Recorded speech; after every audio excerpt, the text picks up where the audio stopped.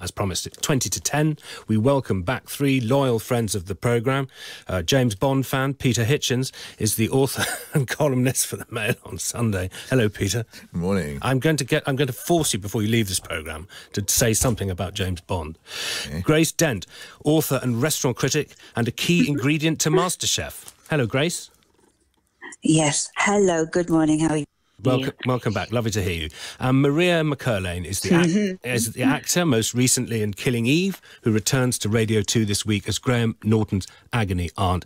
I always ask you, Maria, does he need one? Of course he does. We all need one.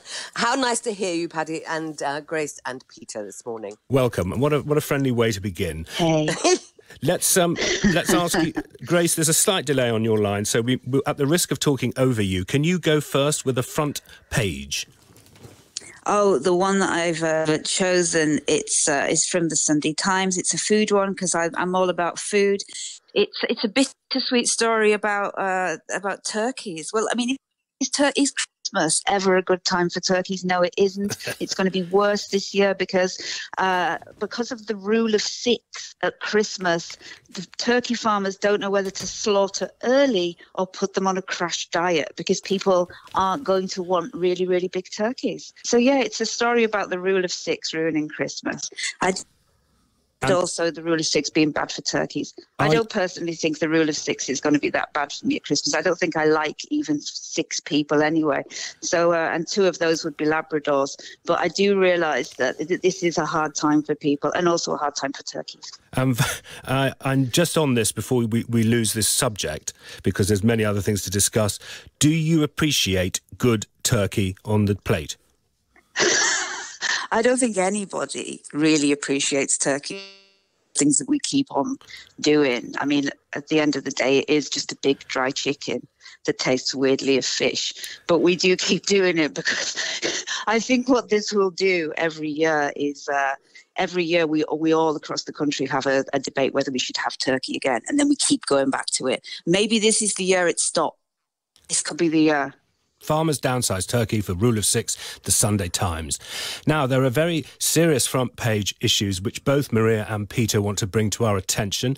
Maria, you want to talk to us about the front page of the Mail on Sunday. Uh, yes, the Mail on Sunday's headline is Boris's dad broke his mum's nose and she ended up in hospital. Um, I won't say anything further about that other than to say that there are 11 pages in the Mail on Sunday uh, from Tom Bower, Bower's biography of um, uh, well his book about uh, Boris and his dad, and um, you know speaking to ex-wives and speaking to current wives and speaking to uh, Boris's father or his father's wife, and it, basically we find out that Boris is a lonely man looking for a soulmate. I don't know if that's meant to make us feel sorry for him, but basically that's everyone on Tinder. So this is basically the big splash in your in your newspaper, Peter Hitchens, the Mail on Sunday. What what what have you read read into it? Well, there are lots of things about it. One of them is that the prime minister's life has been a sort of Greek tragedy. It is uh, it is a series of, of, of appalling disasters and things which have to be important because they must have made such an impact on his life and on his nature. And here he is now, the head of our government. So completely fascinating from start to finish, and also very, very distressing. And it must be distressing uh, for for the family to have this, which obviously they've all known about for years, uh, revealed. But this is the the price which people pay for public life. And there's another point which strikes me looking at it, which is that in so many cases, I think public life is a refuge from private life. Uh, people seek success and popularity in, in, public life because their private life is so unsatisfactory or worrying or frightening or distressing. Mm. And I think this may be a very, very uh, striking example of that. But it, it, it is, uh, I have to say, uh, it is my newspaper, and I would say it anyway, but it is an extraordinarily gripping read. Uh, Grace Dent, the same, the same headline that Maria picked Boris's dad broke his mum's nose. This is a, a shocking thing yeah. for readers, perhaps. What, what, you've picked it for us, so you want to talk to us about it as well well? Well, you know, I picked it because I just think when you actually look at this story as well, and you look at the, uh, you know, you look at the biography that it's coming from. This isn't.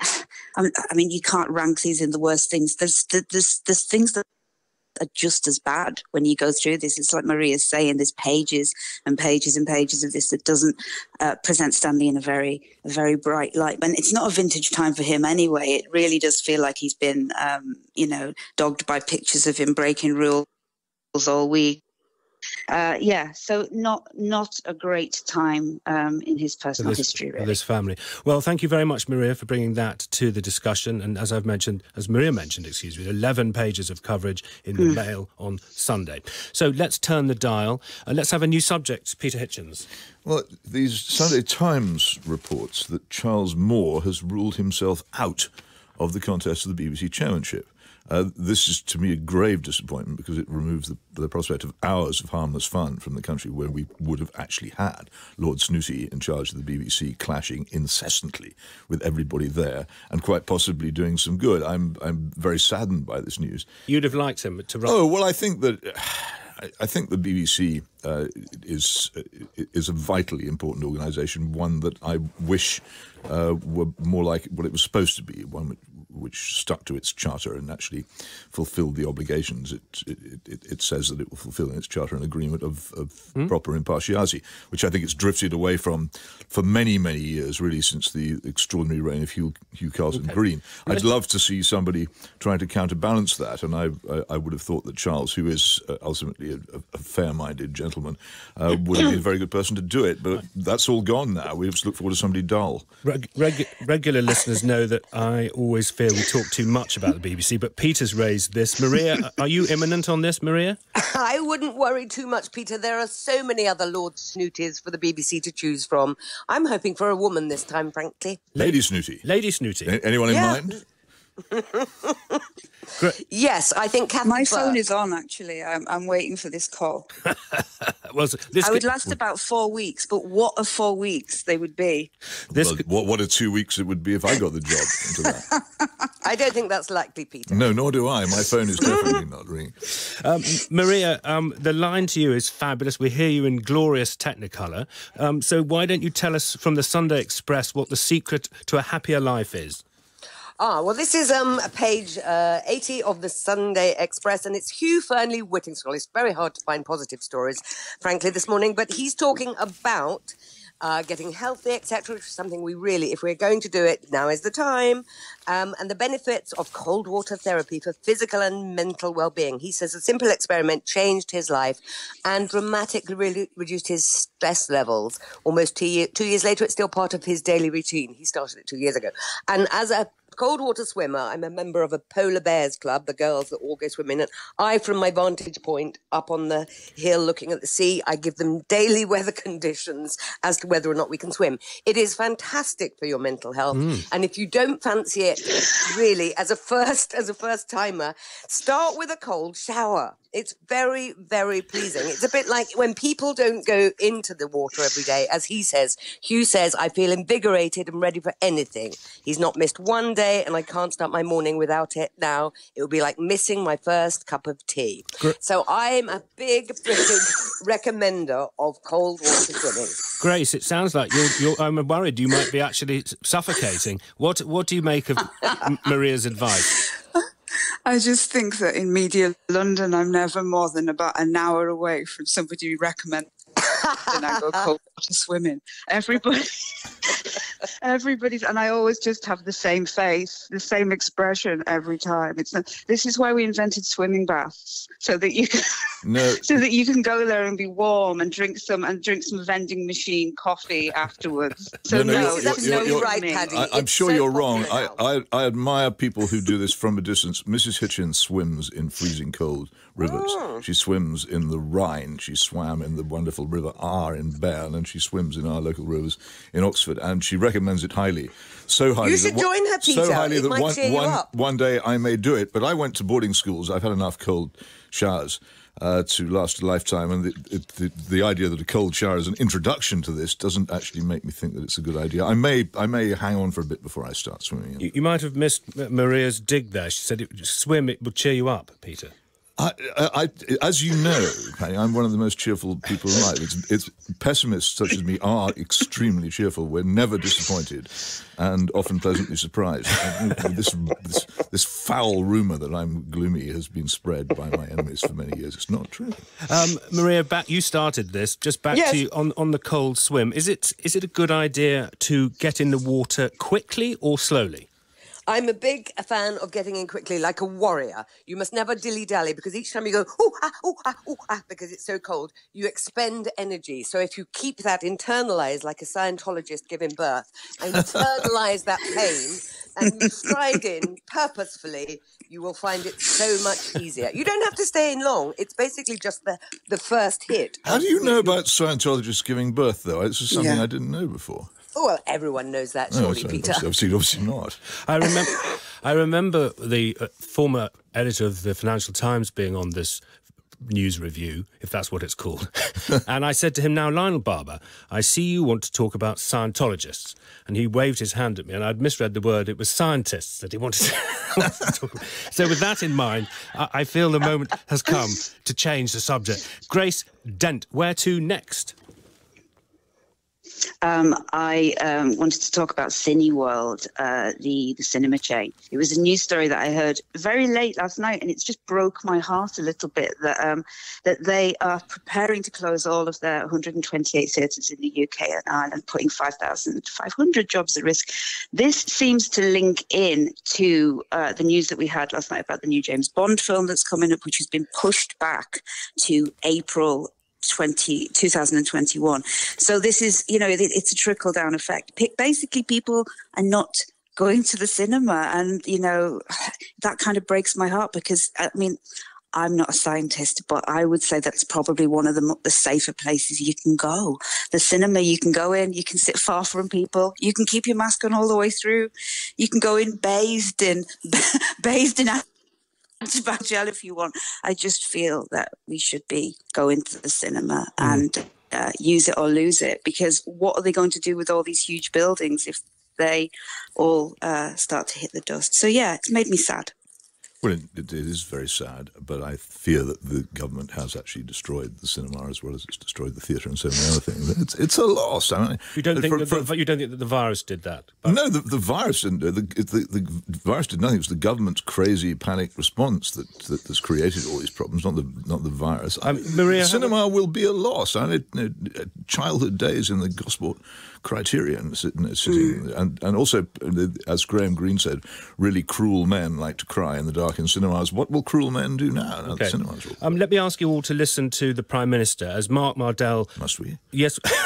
Well, it says Mark Mardell promised that there is an interview. He's toured the BBC TV studios. We've been speaking to Andrew Marr, and we want our listeners to hear what he has said about COVID all the way up to Christmas. They're furious with me and they're furious with the government. They are. But, mm. but, but, you know, I've got to tell you, in all candour, it's going to continue to be bumpy through to Christmas. It may even be, may even be bumpy beyond. But this is the only okay. way to do it. Now, what do you make of that? What do you make of that, uh, Maria? You, Peter's blaming the government, not the virus. What, there's the Prime Minister warning us to go to Christmas with bumps. Well, I don't know what we think about the Prime Minister. And actually, my last story, let me just tie that in. It's um, Mark Steele in the Daily Mirror talking about the rule-proof guide to coronavirus confusion and he's saying because none of us know what to do anymore he's saying to start with the maximum number of people allowed in a room is zero. So if you find yourself in a room you must leave immediately. You can go to work but not go to work unless you go to the pub. And he finishes it's very funny you must read it but he finishes with saying if you've been within two meters of a bee you must move to peterborough. And also stanley johnson is entitled to do whatever he likes as long as he goes on good morning britain afterwards and says i'm stanley johnson so i'll do whatever i bloody well like I'm just tying that into the first story. No, that, Grace, I wonder, do you want to be the reviewer who has sympathy for people in authority trying to make these rules for the first time in our living memory? Peter's very fierce in his criticism. Do you think? Do you have? Do you have sympathy for the decision makers, Grace? Mm, no, no. I think that things are a little. Was really trying to. Uh, no, no. I think that things are incredibly confused at the moment, and uh, and and they could be uh, being implemented more smoothly and in a more reassuring manner, and in a way that doesn't okay. suddenly mean that I. At 11 o'clock last night, I find out that one of my favourite cine chains, Cineworld chains, is, is literally, you know, shutting its doors. These these things are serious. You know, these these these aren't just news stories that you kind of put aside. It, exactly, exactly as we've just said. These are fundamental parts of, of people's childhoods. Mm, Going t- to the cinema, it's a wonderful thing. Let's turn to the Sunday Telegraph's cartoon, Peter Hitchens. What's it about? Well, it's it, it it's by Bob Moran, who I think is one of the, the best cartoonists uh, drawing in newspapers at the moment. It's it's it, it depicts a man. Uh, mask around most of his face with his nose sticking out, uh, shoelaces undone, reading a book called How to Stay Safe as he walks into a manhole, uh, which I think is a very uh, a, a, very good depiction of this country at the moment, frantically trying to stay safe from a, a, virus which is actually, although serious in some cases, not a major threat, while it plunges into a, an economic catastrophe in which everything will be closed and Christmas will become an arrestable offence. he ha- has got something of okay. the tradition of, of the of the great um, British cartoonists yeah. going back to Tenniel, and I think he's he's worth watching as someone who can sum up with humour and seriousness a lot of what's going on. I think cartoonists don't get mentioned enough, and they I think don't. that he, he deserves one. They only really get mentioned on here by Barry Cryer. There's also some lovely landscape in it, by the way, of the tr- of the leaves blowing off the trees in the autumn in the autumn background. I've got which shush now, Peter. Into. No, no, I just I just love this stuff. I've got I've got I've got Matt's cartoon in the Sunday Telegraph. Before I come to you, Maria, for your next selection, it is a TV report with a couple on the sofa. Warning: Some viewers should be ashamed of their reaction to the next report from the White House. Is Matt's um, cartoon, and you've got that for us as we close the review from the Sunday Telegraph, Maria. Yes, I have. This is um, basically the Rose Garden super spreaders. I have to be very quick, I'm sure. Basically, as a, as a result of the super, uh, the Sunday uh, the Rose Garden uh, function, which was for Amy Coney Barrett, to not her nomination. 18 people, count them 18. There's lots of pictures of nobody wearing a mask, no social distancing.